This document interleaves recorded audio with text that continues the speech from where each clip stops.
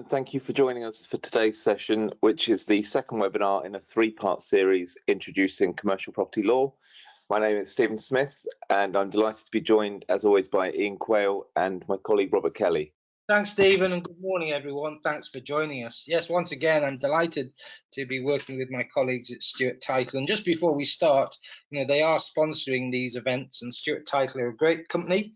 Uh, and therefore, if you do have any requirements, or if you're dealing with transactions on either side of thinking about indemnity policies, Stephen, Robert, and their colleagues are always at hand to provide assistance, whether it's a bespoke policy or one of their standard policies. Do have a look at their website because, as I so they are assisting the legal profession in organising training events such as this, and it's nice to be able to support sponsors wherever possible. So a massive thank you to them, and a massive thank you to you uh, today as well. We are recording today's session. If you want a copy of the recording, then uh, Stephen and Robert can ensure that you get a copy or a copy is made available to you. If you have any questions or queries, we'll try and deal with them during the session but I'm also happy to take emails or any questions that you have and we'll endeavour to assist them. So we're covering a myriad of different topics, so we're going to have to skip through quite a lot today, so do bear with me. Stephen mentions there are extensive notes that accompany the presentation. The idea of the presentation is just to sort of highlight some key issues. So what we're going to be talking about are some issues relating to property joint ventures. We're going to have a look at some issues relating to options and overage. We'll talk about some other issues too if we've got time. The first thing to talk about, of course, are valuable websites. The list on slide there. Do have a look at all of those slides, uh, all of those sites. They do provide information for you that will be useful. The first three are free of charge. The last one is a subscription service, but they do contain a wealth of material. In particular, City of London Law Society's Land Law Committee is a brilliant site for getting precedents getting advice about electronic signatures, looking at protocols, systems, etc for modern commercial property law. PLA website, again, similar and property protocols worth looking at as well. the first thing we're going to be talking about today are property joint ventures. And over the years, I've done lots and lots of JV work, uh, some of it on behalf of local authorities, some of it on behalf of um, uh, companies and organizations, whether the joint venture vehicle or uh, participants in the joint venture, or sometimes to my uh, uh to my sort of chagrin, both. Um, important to understand, I think, how joint structures are formulated, the sort of ethos sitting behind them, looking at some due diligence. We won't have time to look at tax and SDLT issues or some of the issues relating to due diligence. There is a bit of case law to look at again if we've got time. So when we're dealing with joint ventures, I think the first thing, if I'm a local authority lawyer, is just to take instructions from my estates team to see just what we're doing. The JV might be a sort of pure JV where we're putting land into the transaction, putting funding into the transaction, and supervising the development. On the other hand, it might be a joint venture where we're simply putting land in and someone else is taking risk. It might be that we're putting funding, it might be a, a funding in, it might be a site assembly project. So we need to know just what the joint venture is about before we can decide what sort of structure is, is appropriate. So taking instructions is important. Then being aware of the variety of different structures that are available to us. Important to understand that it's not just creating an SPV, a special purpose vehicle company, and that is the joint venture vehicle. We do need to think that there are lots of other sort of structures, lots of other methods of dealing with JVs. Key considerations, what's our objective? What are we proposing to do? What's the business plan? Who are our joint venture participants? What's our end game? Are we looking at um, the potential for the JV failing? What happens if we want to exit the JV during its life or other participants want to as well? As a local authority, we've got to realize one, that we ain't going anywhere. I've dealt with joint ventures in the past, particularly with sort of international participants, and they couldn't care less about their standing in the UK. And therefore, if a joint venture failed, if they needed to exit the JV, there was no sort of collateral damage done to them, but a lot of potential collateral damage done, done to UK businesses and organisations that would still have to sort of survive the aftermath, notwithstanding the failure of this JV. So you need to think about that. As far as drafting is concerned, when I say problems with wording, as property lawyers, and Robert Kelly from Stewart Title was a property lawyer, so was I. Um, you try to sort of draft for everything. You try to consider every possible eventuality. And with joint ventures, frequently what you've got is a sort of a meeting of the tides. You've got our commercial lawyers, and a joint venture for a commercial lawyer is the creation of documentation to create a structure for dealing with decision making, and they don't and can't draft for every possible eventuality. Whereas a property lawyer, I want to try and do that. So, one of the things you'll see with joint venture structures is the idea that there's a, a degree of flexibility, a framework that's created to enable decisions to be taken, and then systems and processes that come into play where decisions can't be reached or decisions need to be taken. So when you're creating a joint venture structure, when you're creating joint venture documentation, you need to be aware of the bigger picture. And the bigger picture is particularly where you're dealing with large scale JVs, that what you're doing is not drafting for every eventuality, you are considering the idea of the creation of a framework. So if there is a problem, if there is an issue, we've got documentation that deals with it. Now, it's funny, I was talking to someone yesterday. I used to deal with a client of mine whose attitude to business was pretty unique, to be honest with you. We bought and sold companies, we bought and sold businesses, and frequently there was no documentation whatsoever. His attitude was, I'm a man of my word. If I shake on a deal, I'll do the deal, and I expect the people that I do business with to have the same attitude. If something goes wrong with a deal, then you know I'm not going to be interested in going to court or being taken to court. I'm going to try and sort it out. So I don't really need a lawyer to sort of draft documentation to protect me. I'm big enough and old enough was his were his words that uh, you know I've just about seen anything and everything that could happen, and I'm prepared to deal with consequences. So, to an extent, although not quite that sort of cavalier attitude, it is important to understand that some people do have a different attitude to JVs, particularly where you've got sort of joint ventures relating to property development. We can just have a look at the next slide. So, what we're doing with documentation is creating a framework um, for dealing with decision making, or we're deliberately not doing so, as I'm going to show you in a moment or two. There are some things that are so potentially dreadful that in not drafting or dealing with it, we hope that the parties realize that it's in everyone's interest to come to some arrangement or to do something rather than allow the JV to sort of fold or to allow the um, the JV to stall or something of that nature. So our documentation really is a tool for decision making a framework that enables the parties to work together, a classification of obligations with authority to impose solutions where problems arise. I always maintain, and have always maintained, that when dealing with JVs, and I don't care whether you're a local authority or you're a private organization, I would like my estates department, I would like my client to produce a business plan Ideally, a business plan that's agreed with all joint venture participants so we know precisely the direction of travel. So we can create this framework, we can create these tools, we can classify obligations, we can think about solutions to commonly encountered problems. Now, I'll show you in a moment or two the different types of vehicle that we could use. But at this moment in time, what I want to explain to you with regard to a JV is that at the start of the joint venture, there's some decisions to be made. And one of the important decisions is if our local authority is a participant, if we've got a local landowner that's a participant, if we've got a developer that's a participant, who's going to advise the joint venture entity, either the special purpose vehicle or whatever entity we're going to create that's going to actually do the joint venture? Because it's dangerous if we're advising a local authority that we're also perceived as being advising the joint venture vehicle. And the same would apply to other lawyers and advisors dealing with other joint venture participants. In my view, it is always better if we're creating a special purpose vehicle, a company for the JV, that that company has independent representation.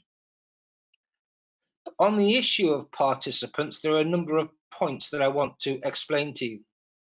When we're looking at a JV, sometimes we need to think about key participants. And I've got a great example to share with you with regard to key participation.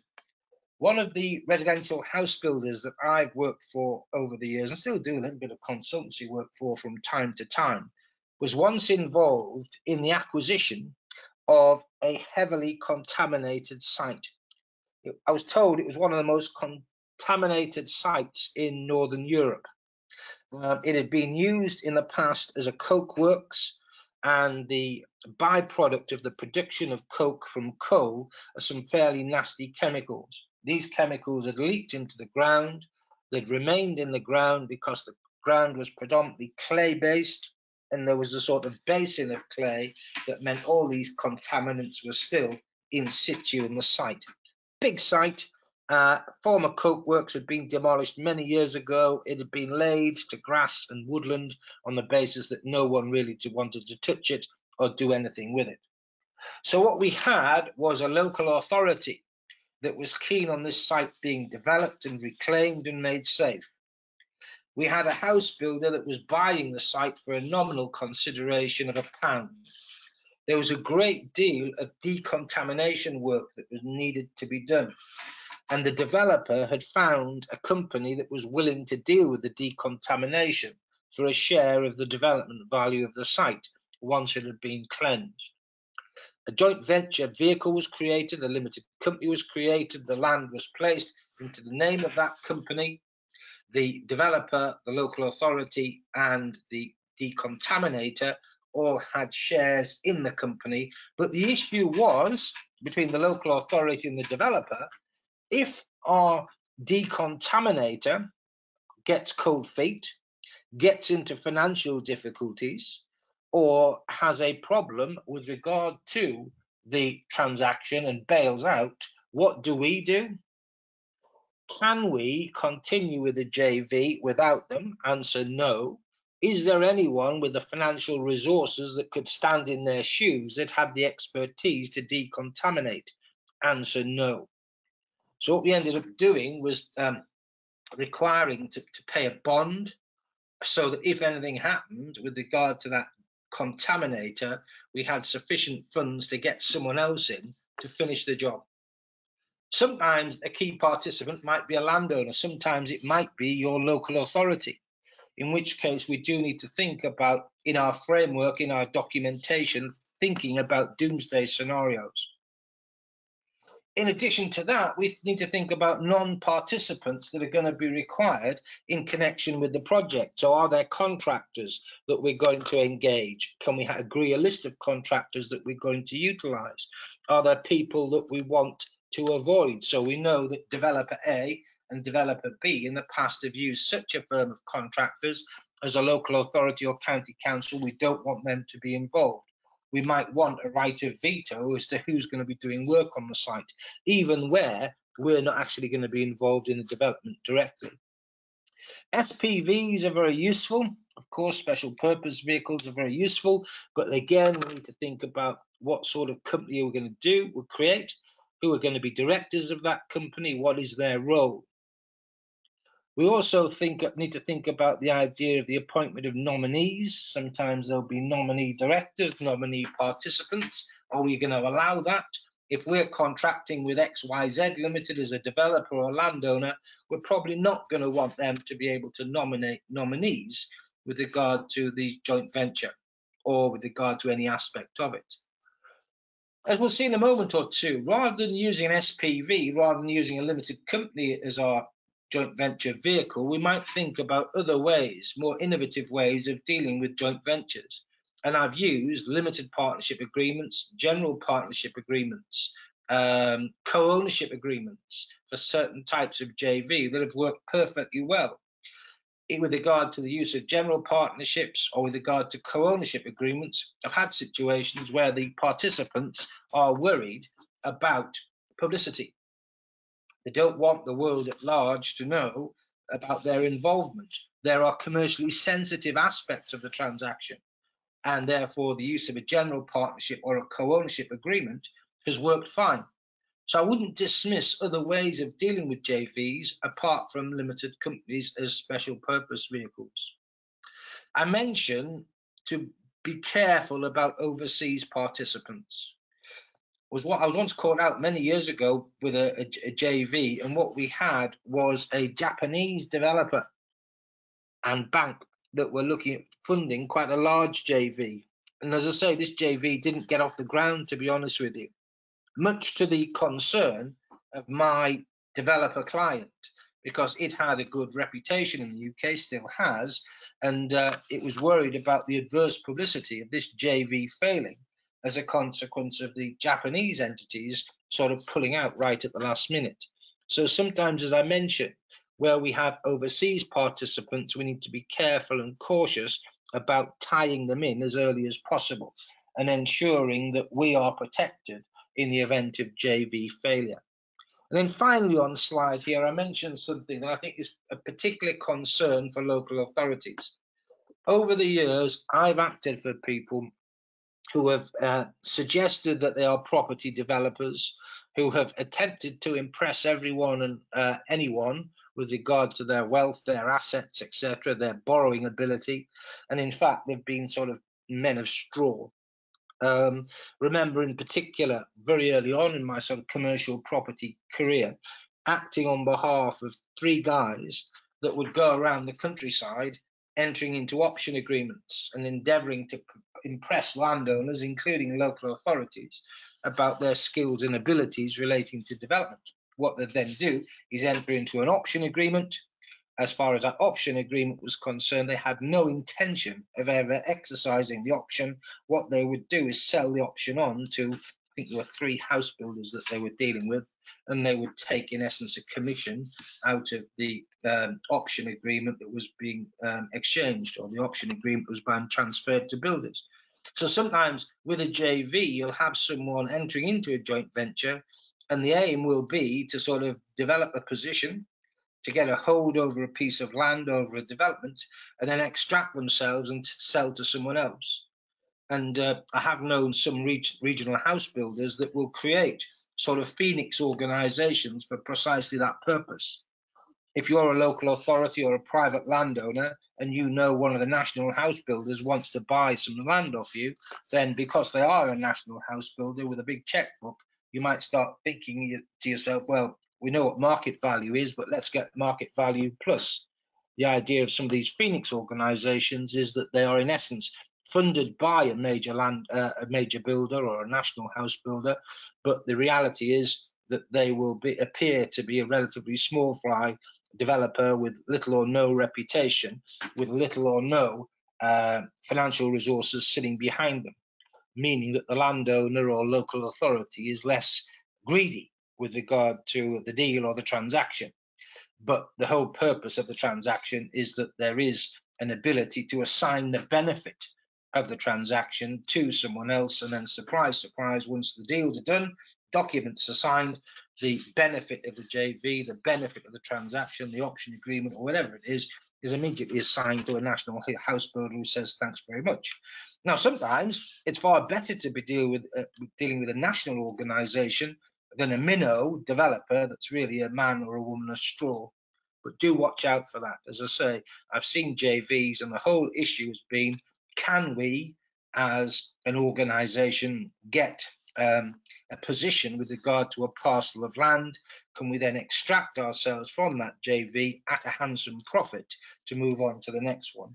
So there's no plan to stay with the JV for the life of the joint venture.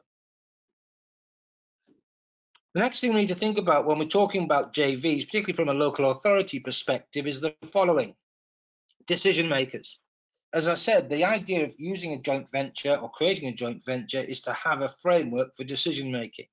And what you'll have is strategic decisions taken by the joint venture board. The board will then have beneath it an executive whose role is to implement the decision of the board and act as a go-between between the board and those that are directly involved in the scheme itself. You'll then have project managers who could be employed within the joint venture vehicle or could be external. Uh, and the idea of project managers is to drive the deal, drive the JV forward. And when I talk about driving the JV forward, there has to be an end game. That's why I want a business plan. That's why I want to know about objectives, not just the objectives of my local authority or county council, but the objectives of everyone else. They should be written down and disclosed to all other parties so that we can see precisely what their intentions are, just as they can see precisely what our intentions are too. Going forward from that, as far as the decision-making process is concerned, I've mentioned that what we're looking at is the creation of a framework. If we're creating an SPV, what we will have, of course, is uh, a memorandum and articles of association and probably a shareholders agreement.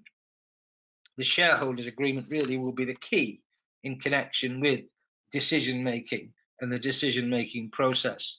But what we have is a framework for decision making examples of the sorts of decisions that are taken by different organizations or entities within the JV, a requirement for decision making to be unanimous or having some form of special majority or simple majority depending on what the decision is and what the issues are and documents are drafted to cover situations and to provide examples of the sorts of decisions that are taken by different organizations, entities, or individuals within the JV.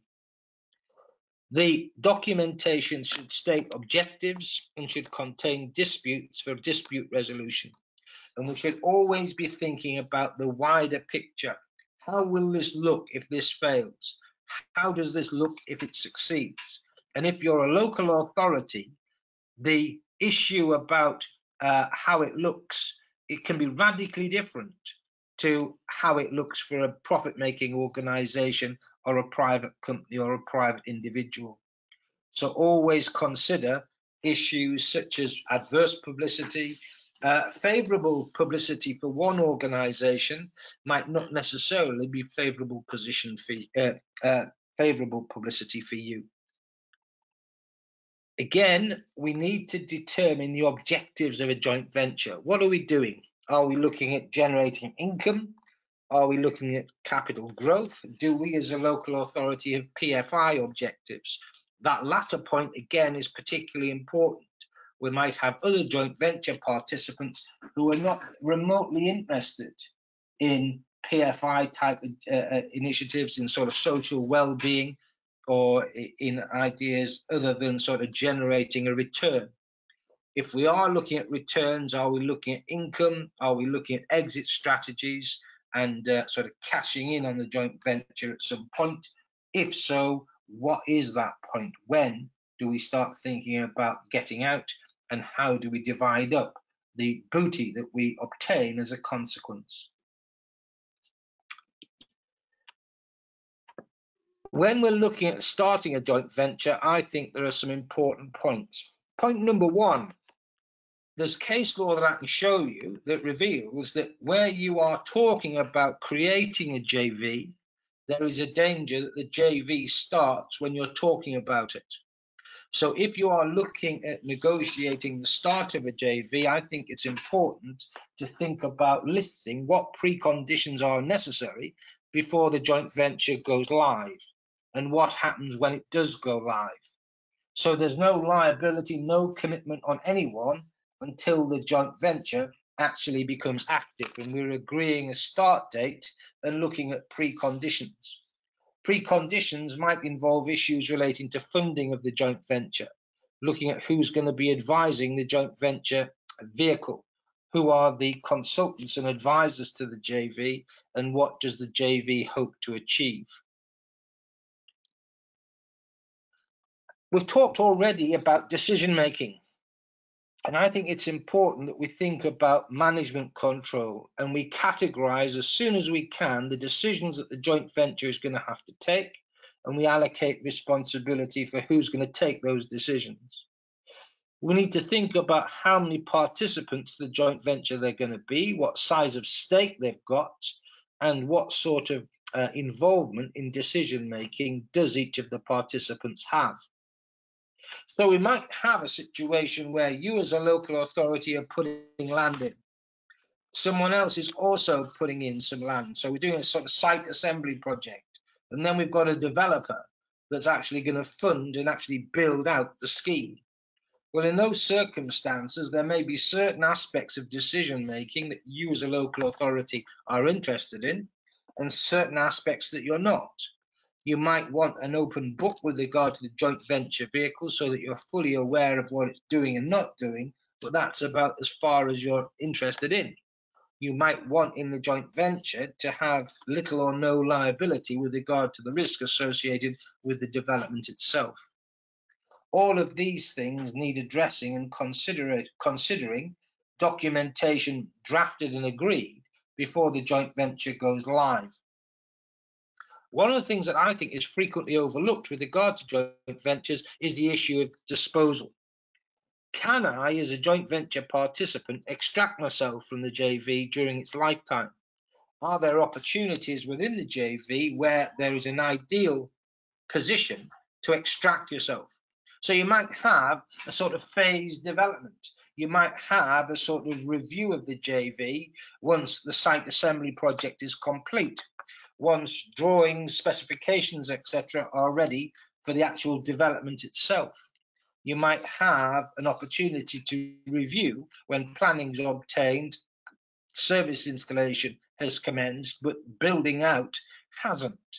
You might want uh, no one to be able to dispose of their interest in the JV until the joint venture is completed.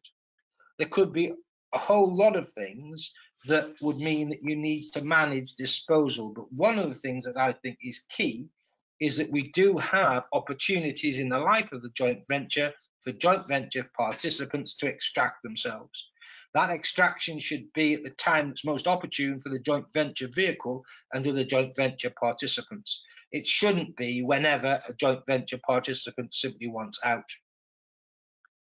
If there is provision for disposal, how does the disposal work? Is it necessary for the interest of the joint venture participant who wants out to offer their interest to the existing joint venture participants? Or is the joint venture participant entitled to offer its interest in the JV to the market? If that's the case, is there a right of veto with regard to the remaining joint venture participants if the exiting joint venture participant finds a new participant that is to become a partner with the existing participants. Again, all this needs to be addressed.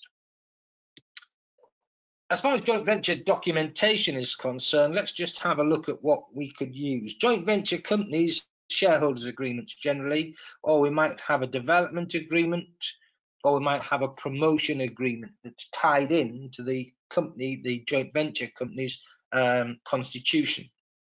General partnerships, well, a general partnership agreement can deal with JVs. Same thing applies with limited partnership or limited liability partnerships.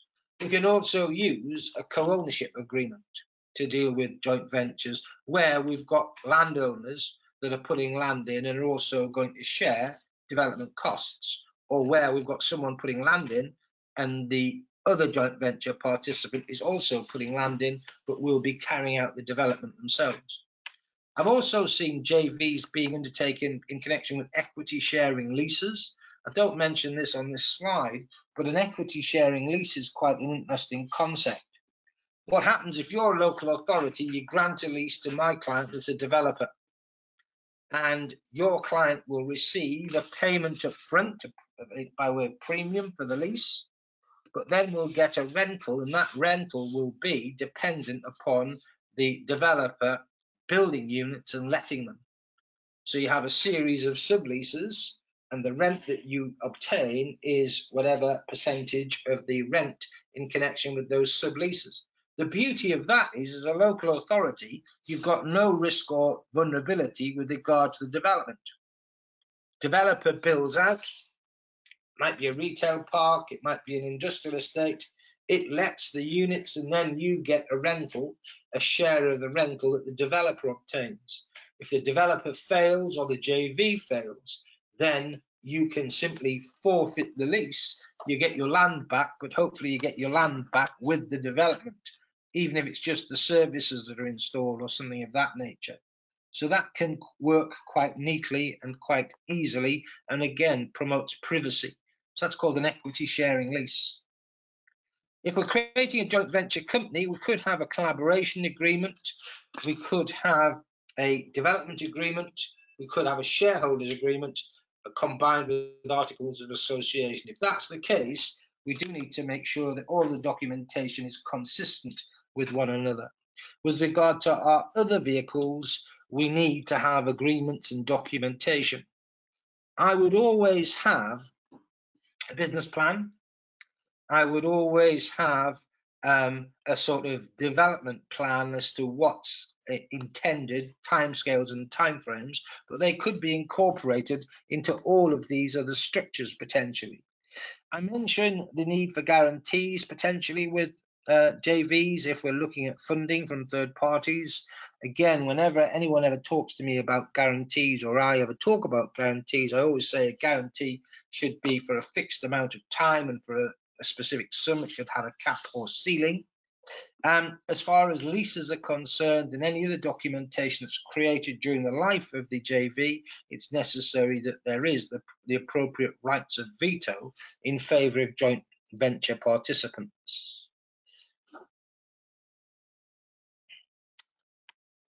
Remember, if anyone has any questions or queries about JVs, drop me a note via email.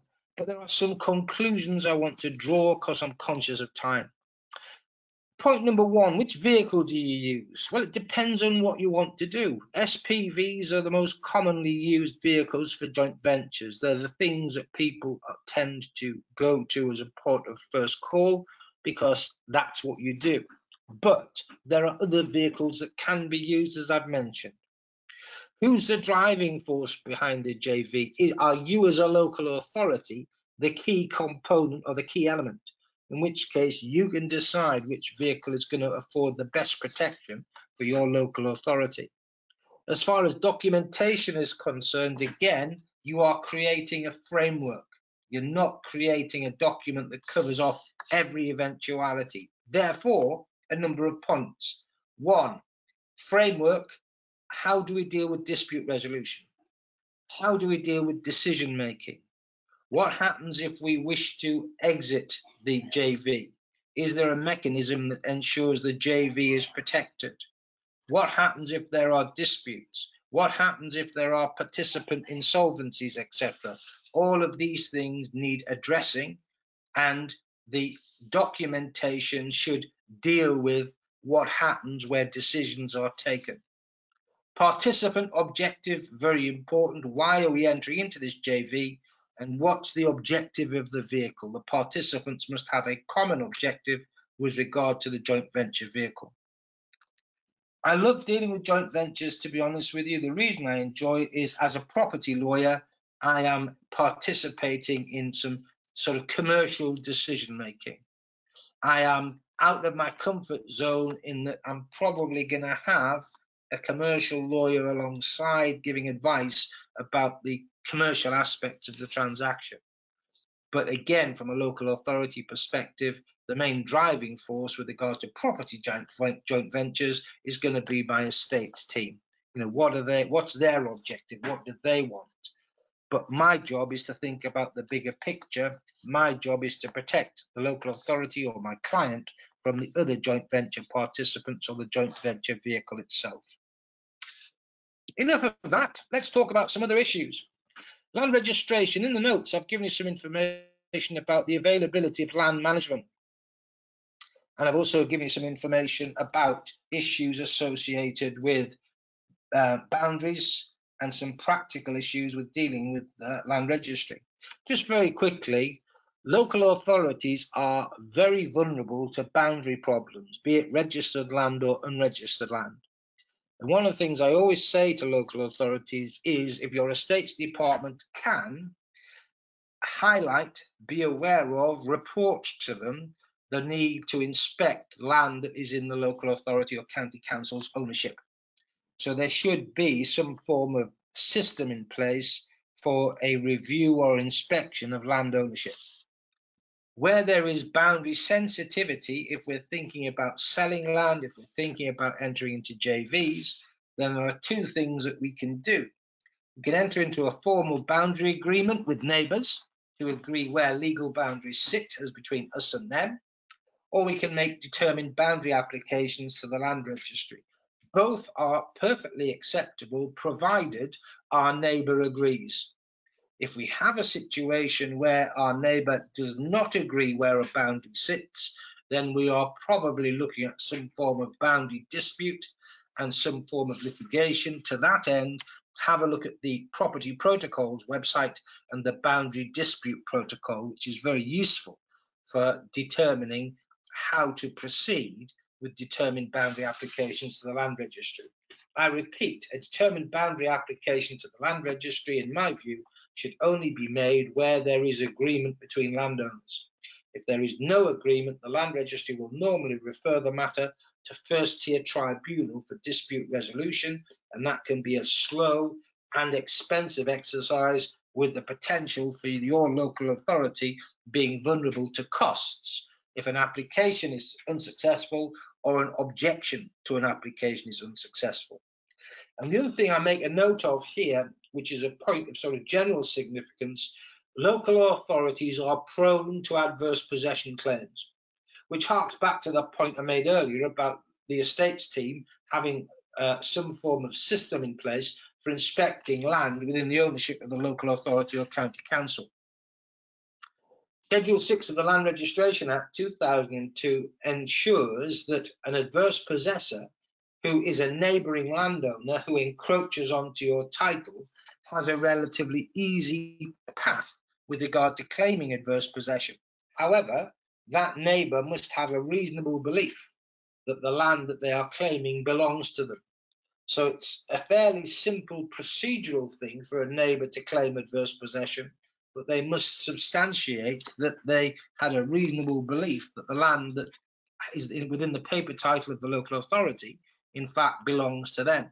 And the other good news with regard to adverse possession, if you as a local authority lose land due to adverse possession, you have up to six years to claim the land back by way of rectification. If you can establish that the application was um, um, in, was uh, in some way defective, or if the applicant uh, misinformed the land registry about the facts relating to their adverse possession, you can apply to the land registry for rectification to get your paper title back and to get the possessory title claimed by the applicant removed. As I say, there'd have to be a defect in process, or you'd have to be able to establish that the adverse possessor has told the land registry something about the adverse possession that isn't correct. But the point I want to labour is that all is not lost if you lose land due to adverse possession. Land registry restrictions again, uh, I'm often asked about the use of land registry restrictions to protect overage. I'm often asked about local authorities using overage when they're selling land. The important point to note, as I'm going to mention before we finish, is overage is difficult, if not impossible, to protect. A restriction is not cast in stone. Restrictions can be disapplied, cancelled, or modified on application. If you as a local authority impose a restriction on a registered title, it is imperative if anyone makes an inquiry of you with regard to that restriction that you react to it. If you simply do nothing, there is a danger that the person wanting to deal with the land will apply to the land registry to disapply, cancel, or modify it. Be aware of exempt information status at the land registry. The land register is an open register, but you can ask if you're submitting commercially sensitive information to the land registry, be it in the form of an option agreement, be it in the form of any documentation relating to a JV, uh, where someone is applying to register a lease where the local authority is a landlord, if it's commercially sensitive, you can ask the land registry by way of an application for exempt information status for the document to be treated as exempt information, meaning that no one can see the original. Someone is entitled to see a redacted version of the document, but you can ensure that commercially sensitive information is redacted. I've given you details in the notes as to what the land registry regard as being commercially sensitive. So if you're submitting an evidential document to the land registry that you think is commercially sensitive, you can ask the land registry for exempt information status, meaning that someone would only see the edited version of the document. If you're the landlord and the lease is commercially sensitive, remember the tenant will be applying to register the lease, in which case you would have to insist in the agreement for lease or in the lease itself that the tenant applied for exempt information status. And of course, remember, exempt information status simply relates to the document. You do need to think about um, um, confidentiality and uh, uh, non-disclosure agreements, etc., with participants to agreements where commercially sensitive information is being submitted to the land registry. And of course, the opposite side of all of this is as it is an open register, if you're dealing with a landowner, if you're concerned about land adjacent to a local authority or what someone is doing relating to land, you can see by application to the land registry, copy, option agreements, etc., that will give you an inkling as to what's happening with regard to land in the vicinity. I want to, before we finish, talk about option agreements and uh, overage. Why would we have an option agreement as opposed to a conditional contract or a promotion agreement? Well, the beauty of an option agreement is that we're creating an interest in land that can be protected. Conditional contracts are notoriously dangerous on the basis that if the condition is not correctly drafted, then there isn't a valid exchange of contracts or at all. And promotion agreements are fine in the context of what I mentioned earlier, things like JVs, etc., or where there is development, but there isn't any need to acquire a position in land. With regard to an option agreement, the agreement itself must comply with Section 2, subsection 1 of the Law Property Act, uh, Miscellaneous Provisions Act 1989. Do be careful with regard to trustees granting options because the trustees are under an obligation to obtain the best price for the land in question. And if you're entering into an option where ultimately you're only going to be paying 80% of market value, then that automatically flags up a potential problem for trustees. Um, mortgagees' powers on sale include a power to grant an option, as I mentioned. And on unilateral exercise, it is important to understand that the transfer or the document dealing with disposal of the land um, really uh, automatically sort of comes into play. And I would maintain that the transfer should be annexed to the option agreement so that everyone is aware of precisely the terms that the land is to be transferred if the option is, tri is triggered. I mentioned that options are regarded as a special entitlement and uh, therefore it's important that we do look at the terms of the option agreement and we comply to the letter with how the option agreement is triggered and what is to happen thereafter. Option agreements, if land is unregistered, can be protected by a C4 land charge. They can be protected by notice in the charges register if the land is registered. And you should always think about protecting an option agreement with an agreed notice rather than a unilateral notice because unilateral notices are capable of being challenged and being removed. The other important thing I think with regard to an option agreement is to understand and appreciate what the option agreement does. It gives you as a local authority the right to trigger the option and acquire the land. It, as a consequence, means that you should really be performing due diligence before the option agreement is entered into.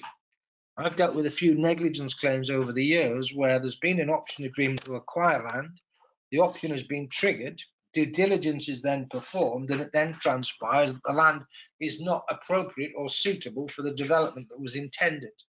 So all the expense of paying non-returnable option fees, all the legal work done with regard to entering into the option, triggering the option, etc., has been wasted. It's important to understand that if we simply have an option, then all we have within it is an obligation to transfer a good and marketable title from the uh, owner of the land to the buyer of the land if the option is triggered. Therefore, we do need to make sure that our option agreement contains all the terms that are necessary to ensure that the title that we are acquiring is good and marketable and is suitable for whatever purpose our optioner, the buyer, intends. When drafting option agreements, we need to think about the triggering event. Uh, we need to ensure the trigger event is sufficiently certain. I don't like trigger events that are a date calculated by reference to other dates. I don't like that generally in property documents.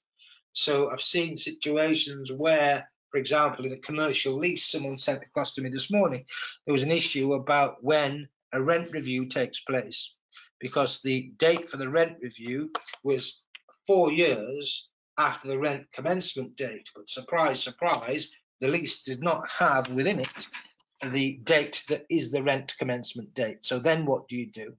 Far better to always have a date specified or to make sure that if a triggering event is the obtaining of planning permission, that we specify what the planning permission is. I once dealt with a matter where the landowner applied for planning permission and that application was sufficient to, to compel the optioner to either exercise the option and acquire the land or back off because there was no provision within the option agreement specified who was to apply for planning permission. It was just a requirement that if a permission was sought, that um, and if a permission was granted, the option would have to be triggered. Purchase price might be market value, it might be market value minus, it might be market value plus in the good old days when I was doing a lot of work for one national house builder, we would sometimes buy sites and we'd pay market value plus 10% because the chief executive of that company's attitude was I make money out of building houses, not buying land. And in order to get a reputation with landowners, in order to get a reputation with others, he would always pay above market value so that people wanted to do business with him rather than business with competitors. Uh, can an option agreement be assigned? If so, to whom? Does an option agreement contain provision for dispute resolution? And as a landowner, I might not want the optioner to have the ability to place an agreed notice on my title. So I might want to manage how the option agreement is protected. I might be perfectly happy with a unilateral notice being placed on the title, but not an agreed notice. With regard to options, be careful. They do cause problems where there are calculations or formula to identify land purchases, option fees, additional fees payable where an option is extended, etc. There are rafts and rafts of case law.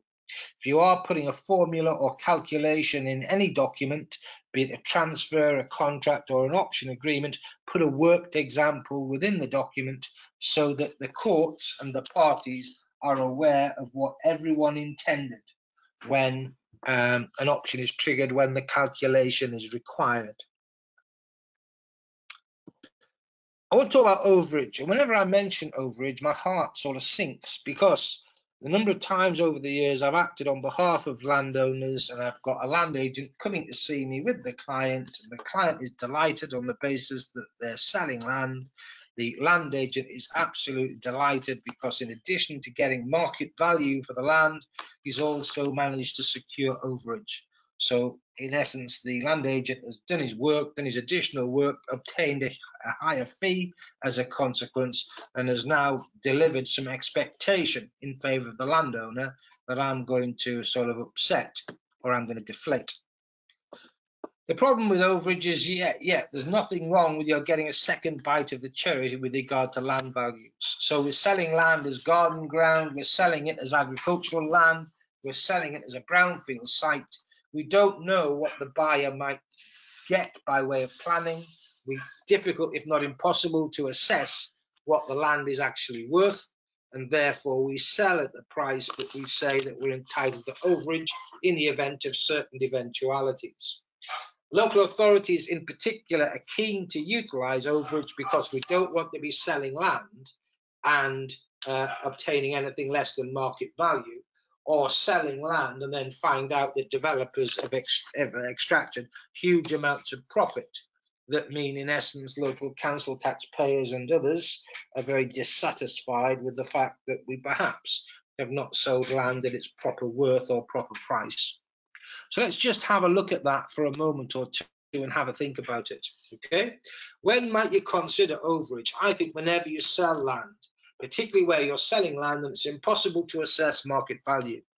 And that impossibility might arise because we don't know what sort of planning permission might be obtained for the site.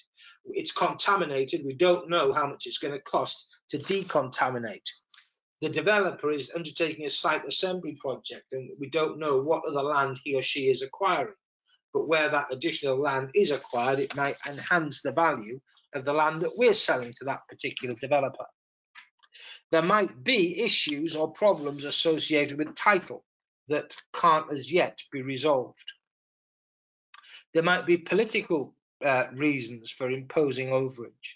It might be that we are selling at a low value on the basis that we want land to be developed. So we want to make the land attractive to developers, but we don't want to sell at a low price such that the developer makes a fortune out of us as a consequence of that low price. So we might want to sell low and then in essence to share in the value of uplift when the developer works his or her magic. So that's really a, a, situation where we might be looking at a JV but decide against it due to risk issues, for example. Um, where we're selling land with a potential for development, these days it can be particularly difficult to assess just what form of development can take place.